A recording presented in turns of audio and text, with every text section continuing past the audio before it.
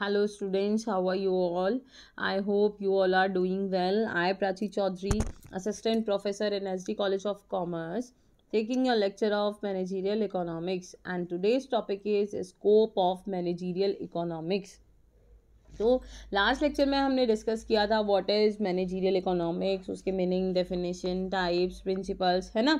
ये सब हमने डिस्कस किया था. बट टुडे आज हम क्या डिस्कस करेंगे? स्कोप ऑफ़ मैनेजीरियल इकोनॉमिक्स हम डिस्कस करेंगे। स्कोप का मतलब होता है क्या? यस yes, स्कोप का मतलब होता है क्या? वो सारे एरिया जहाँ हम मैनेजीरियल इकोनॉमिक्स को यूज़ कर सकते हैं अप्लाई कर सकते हैं। तो जैसे कि हम लोगों ने लास्ट वीडियो में पढ़ा था कि managerial economics is basically combination of management and economics तो कैसे हम इकोनॉमिक्स में जो भी हम थियोरेटिकल चीज़ें हमने पढ़ी हैं उन्हें अपने बिज़नेस में अप्लाई करते हैं ताकि बिज़नेस के डिसीजंस ले सकें इसका जो स्कोप होगा जनरली हम देखेंगे कि हम, कहाँ हम प्रैक्टिकली कहाँ हम इसको यूज़ कर सकते हैं, है ना? अप्लाई कर सकते हैं। तो इसमें दो चीज़ें दी गई हैं।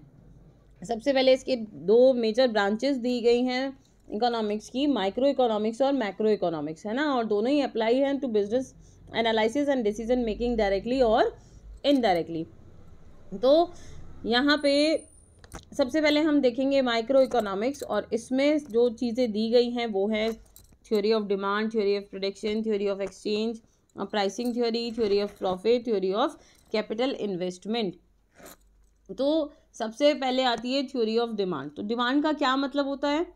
डिमांड का मतलब होता है कि कितनी रिक्वायरमेंट है है ना? कितना मेरे पास ऑर्डर है, कितना सामान कस्टमर चाहते हैं क्योंकि मैं मैनेजरियल इकोनॉमिक्स की बात कर रही हूँ तो मैनेजरियल इकोनॉमिक्स में हम पहले भी पढ़ चुके हैं कि बिज़नेस फर्म क्या करती है, कि गुड्स वगैरह को ट्रांसफॉर्म करती है, रॉ मटेरियल से प्रोडक्ट के सोर्सेज पे जो कि हम मार्केट में बेच सकते हैं। तो एक तरीके से देखा जाए तो वो भी डिमांड से रिलेटेड है है ना?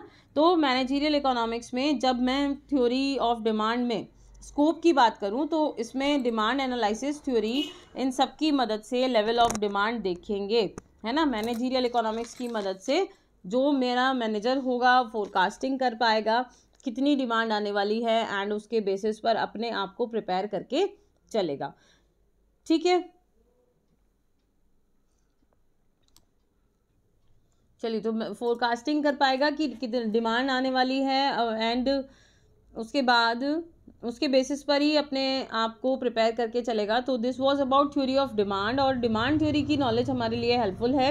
In the choices of commodities for production इसके बाद हम आते हैं थ्योरी ऑफ़ प्रोडक्शन पर। डिमांड एंड सप्लाई रिलेटेड होते हैं, ये सब आपको पता ही है डिमांड रिलेटेड है सप्लाई से, है ना?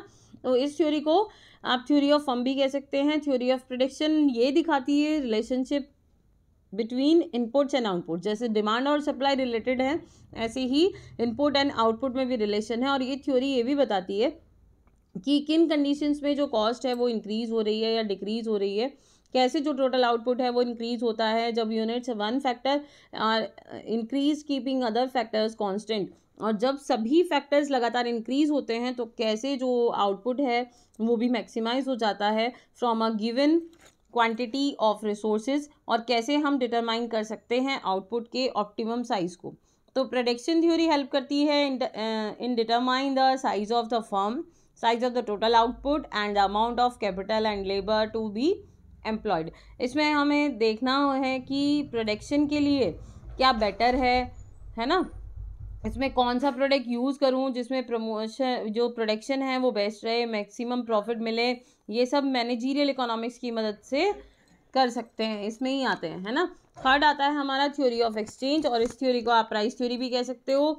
और प्राइस थ्योरी में या थ्योरी ऑफ़ एक्सचेंज में हम लोग अलग अलग मार्केट कंडीशंस में प्राइसेस कैलकुलेट करते हैं प्राइस कैलकुलेट करके रखते हैं। तो मैनेजरियल इकोनॉमिक्स हम यहाँ कैसे यूज़ कर सकते हैं कि लाइक हम फर्म की प्राइस पॉलिसी डिटरमाइन कर सकते हैं, है ना? एंड इसके अकॉर्डिंग ही हम प्राइस सेट करेंगे प्रोडक्ट के किस पे मेरा जो ब्रेक इवन पॉइंट है, कहाँ पर मेरा प्रोडक्ट है, कहाँ पर सेल्स पॉसिबल है, कहाँ पर नहीं है, किस टाइप के प्रोडक्ट जो हैं वो बेस्ट रहेंगे या मेरे प्रोडक्शन के लिए, है ना?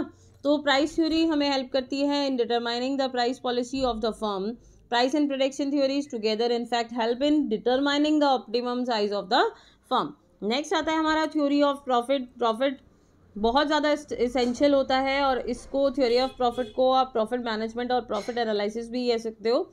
और बिज़नेस के लिए, के सर्वाइवल के लिए एंड बिज़नेस की ग्रोथ के लिए तो प्रॉफिट में बहुत सारे फैक्टर्स डिपेंड करते हैं। लाइक like मेरे प्रोडक्ट की डिमांड क्या है? प्रोडक्ट का प्राइस क्या है? है ना? या प्राइस क्या रखूँ? अपने कॉम्पिटिटर से कैसे कम्पीट करूँ? क्योंकि उसके हिसाब से तो अगेन मैनेजरियल इकोनॉमिक्स इसमें एक इंपॉर्टेंट रोल प्ले कर सकता है ना? एंड हम लोगों को हेल्प करते हैं इन सारी कैलकुलेशंस में, ताकि हम लोग ऐसा प्राइस रखें कि जिससे हमें मैक्सिमम प्रॉफिट मिले बट प्रॉफिट अर्न करना सभी बिज़नेस फॉर्म्स का ऑब्जेक्टिव है है ना? या ये भी कह सकते हैं कि ये कॉमन ऑब्जेक्टिव होता है but making a satisfactory profit is not always guaranteed because a firm has to carry out its activities under conditions of uncertainty with regard to uh, demand for the product input prices in the factor market price behavior etc और सबसे important element यहाँ पर होता है risk और try to minimize it है ना and profit theory हमें guide करती है firm in the measurement and management of profit को in calculating the pure return on capital and pure profit and also for future planning next आता है हमारा theory of capital investment decisions और theory of capital and investment decisions जो है, सभी investments की तरह जो हमारी कैपिटल है, वो एक, कहते हैं ना स्कार्स जैसे कहते हैं कि this is a very scarce and expensive element है ना? तो जो ये कैपिटल है, वो भी हमारा एक दुर्लभ या ऐसा कह सकते हो कि महँगा कारक है है ना? एक्सपेंसिव फैक्टर है। और कैपिटल बिज़नेस की नींव है। तो इसका जो सबसे इंपॉर्टेंट टास्क है मैनेजर्स का, वो एलोकेशन करना और मैनेजमेंट करना है और फर्म को सक्सेस लेवल तक ले जाना है। कैपिटल से रिलेटेड जो इश्यूज़ हैं, वो हैं choices of investment project assessing the efficiency of capital allocation of capital और इसीलिए कैपिटल थ्योरी की नॉलेज कंट्रीब्यूट करती है a great deal in investment decision making choice of projects maintaining capital budgeting है ना? एसेट्रा अब ये थे हमारे micro economics apply to operational issues clear तो अब हम आते हैं macro economics applied to business environment और एनवायरमेंटल इशूज़ और managerial economics although micro economics है. बट कई जगह क्या होता है, ये मैक्रो इकोनॉमिक भी की भी बात करता है और जैसे कि पॉलिटिकल एनवायरनमेंट है है ना? जिसके जिसके अंदर बिज़नेस फॉर्म्स काम करती हैं सोशल एनवायरनमेंट अलग अलग फैक्टर्स के बारे में भी करता है है ना? लाइक like हमारा इकोनॉमिक सिस्टम कैसा है कंट्री का टैक्सेशन पॉलिसी क्या है? इसमें बहुत से फैक्टर्स हैं जो which constitute economic environment of a country है ना? और उसमें ये पॉइंट्स हैं कुछ जो इंक्लूड करते हैं, जैसे कि type of economic system of the country trends in labour and capital markets general trends in production employment income prices saving and investment etcetera the degree of expenses the degree of openness of the economy and the influence of em on the domestic markets तो ये था हमारा इस micro economics macro economics apply to business environment इसको आप environmental issues भी कह सकते हैं, है ना? यानी कि जो मैनेजरियल इकोनॉमिक्स है, वो हमारी माइक्रो इकोनॉमिक्स है. बट कई बार क्या होता है कि मैक्रो इकोनॉमिक्स की तरह भी वर्क करती है, क्योंकि हम जो पॉलिटिकल एनवायरनमेंट है सोशल एनवायरनमेंट है, हमारी बिज़नेस फॉर्म उसके अंदर ही होती है, वहीं पे काम करती है.